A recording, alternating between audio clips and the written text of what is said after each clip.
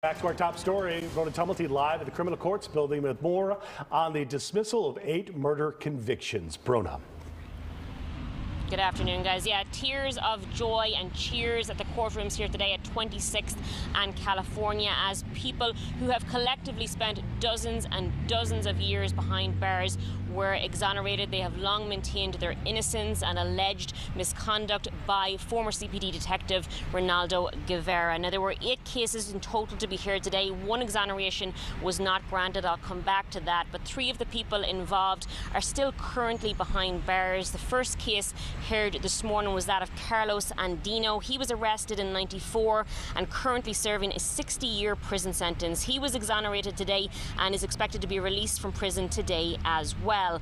Alfredo Gonzalez was also exonerated and is expected to be released today as well. He was arrested in 1990 and sentenced to life behind bars.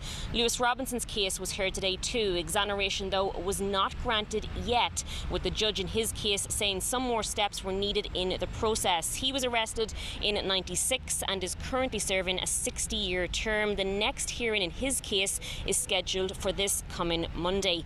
David Colon was physically in court today, having previously served 26 years in prison. He was arrested in 91 and exonerated today.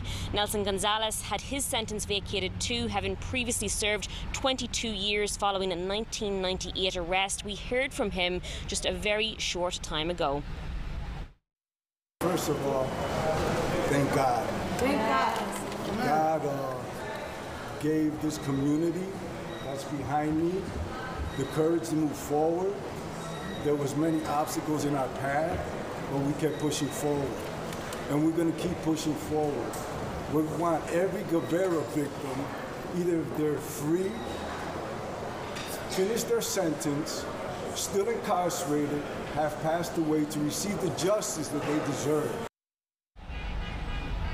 Now, Marilyn Mulero was exonerated today too, having previously served 28 years for a 1992 arrest. Five of those years were spent on death row. She is the only woman thus far to be exonerated in the Guevara scandal, and she spoke with reporters a short time ago as well.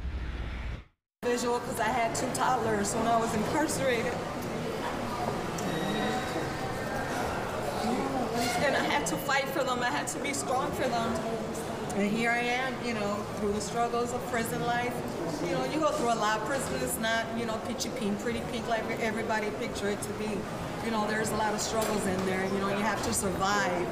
Prison life is the survival mechanism in there. You have to portray to be something you're not in order to survive. Jaime Rios feeling the same relief today too. He served 18 years for a 1989 arrest.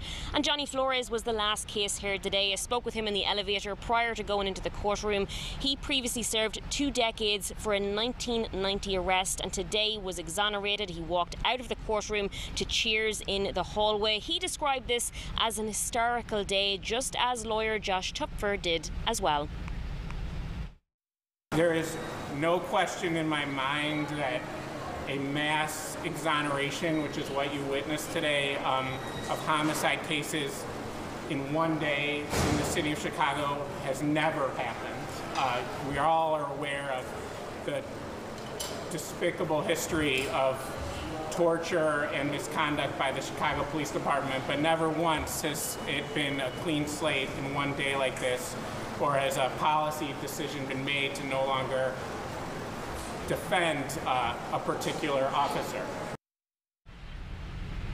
Now, Guevara, meanwhile, is now living in Texas. It's understood he is collecting pension benefits from the city of Chicago and has collected more than a million dollars from the city since his retirement in 2005. He is currently facing about a dozen civil lawsuits brought by people who have alleged uh, that they were wrongly convicted based on his investigations. He has never been charged criminally and has repeatedly invoked the Fifth Amendment when questioned about his actions whilst working on the west side of Chicago as a CPD detective during the 1980s and the 1990s as well. Those exonerations today, those seven exonerations that were granted, follow about 20 others uh, that came down that were following on from cases thrown out based on Guevara's actions. Live today at the courthouse, Brónagh Tumulty, WGN News.